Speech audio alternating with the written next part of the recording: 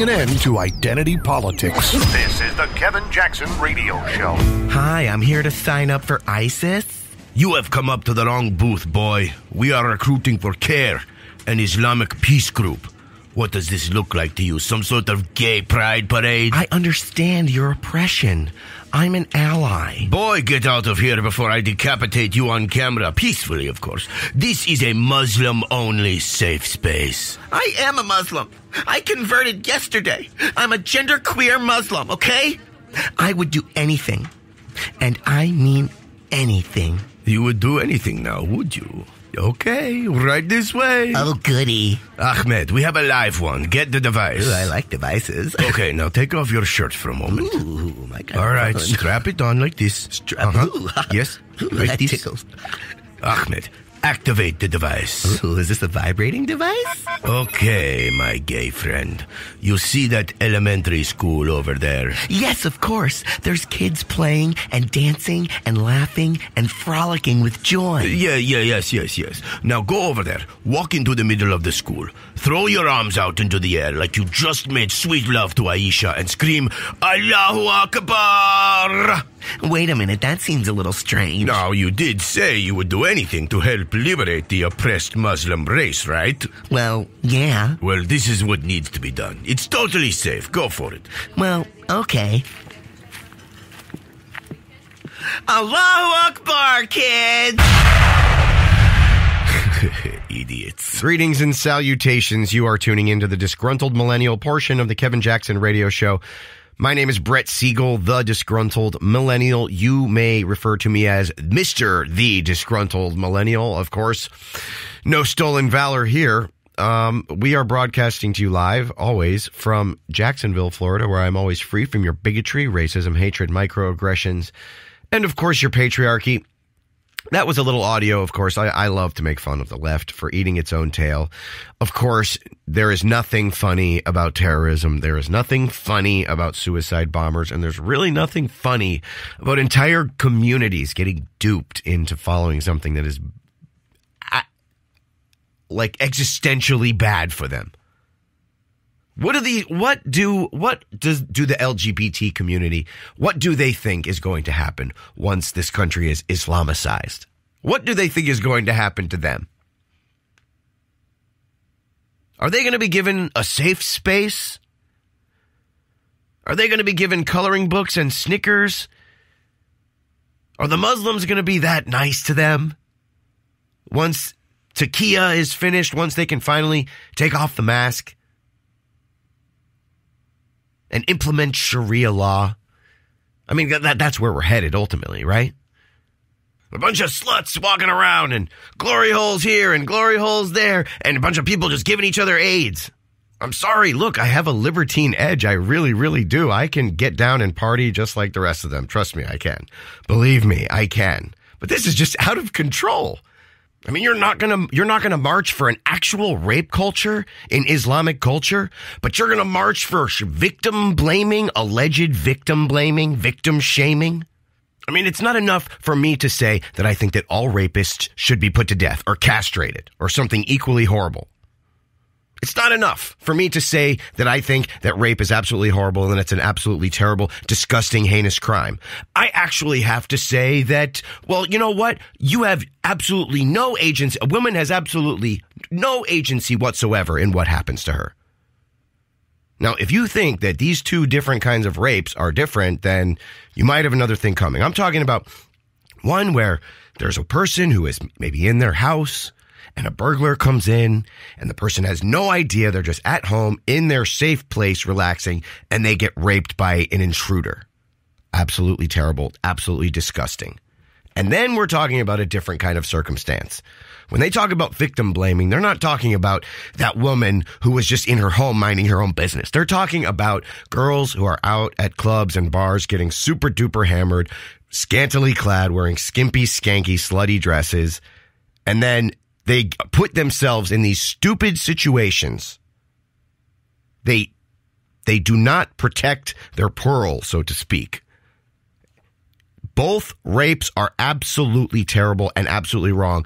Both rapists should be punished equally. But let's not pretend that some people have some agency. If you're going to be doing that, then at least go out with a bodyguard or someone who can protect you. Buddy system. Watch your drinks. Make sure, you know, you're, I don't know, like, I, I don't even know how girls do this. You know, I mean, most people do the buddy system. But the, but the, but the idea that you don't have agency in what happens to you is, to me, supremely anti-feminist. It's anti-woman. That is anti-woman to say that women don't have the freedom of choice and the wherewithal to protect themselves. And that's what these women are marching with the slut march. This is what they're marching for. They want to be, they want the right to be as absolutely reckless as possible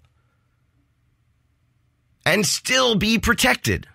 Of course they should be, of course there should, of course, rape.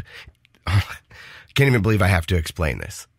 And I can't even believe I have to explain that women have agency. Just like men have agency, women also have agency. I give women the respect of their own agency. To me, it would be totally disrespectful to say that a woman has no control over her circumstance and her station in life. I respect women too much, and I believe the inequality between the sexes too much to relieve a woman of her moral agency in her own life and in her own self protection. And that is what these slut walk sluts miss. Hey, they can call themselves sluts. I can call them sluts too. They're sluts.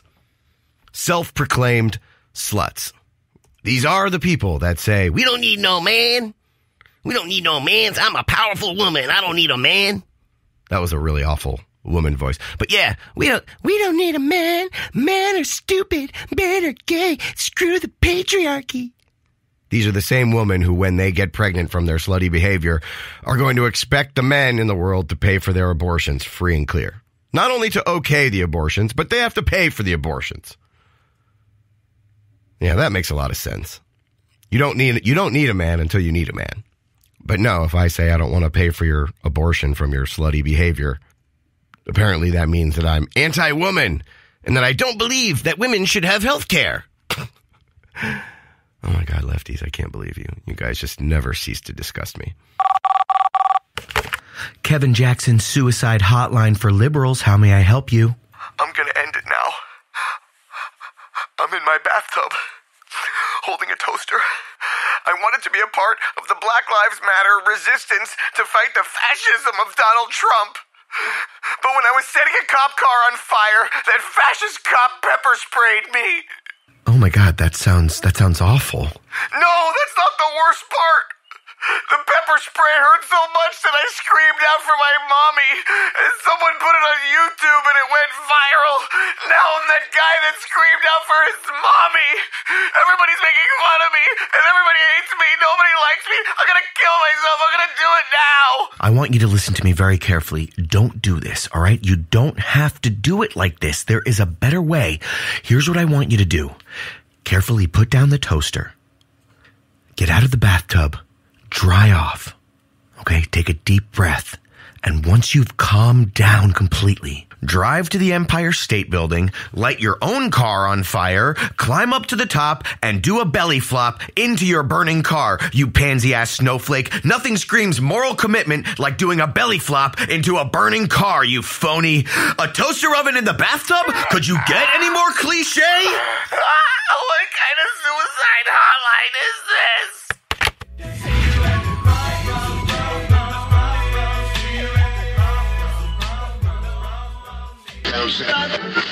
Are you a proud social justice warrior? Do you believe that the so-called facts of reality are nothing more than racist, irrelevant social constructs perpetuated by white supremacy? If you answered yes to both of these questions, you must boycott the disgruntled millennial. The disgruntled millennial threatens the very existence of humanity. He espouses dangerous ideas like small government, school choice, property rights, and worst of all, he shoots guns. He's practically Hitler. You must act now. Conservatives are becoming more and more emboldened to make their own life decisions. We can't let that happen. So whether you're drawing on coloring books in your safe space or setting police cars on fire, always remember to hashtag boycott the DM. That's boycott the DM. Boycott the DM. Boycotts work.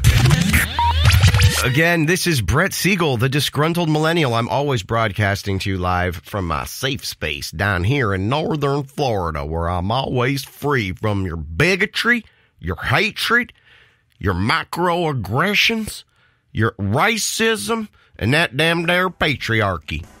We don't take kindly to intolerance around here. All right, we got more for you. We will be right back.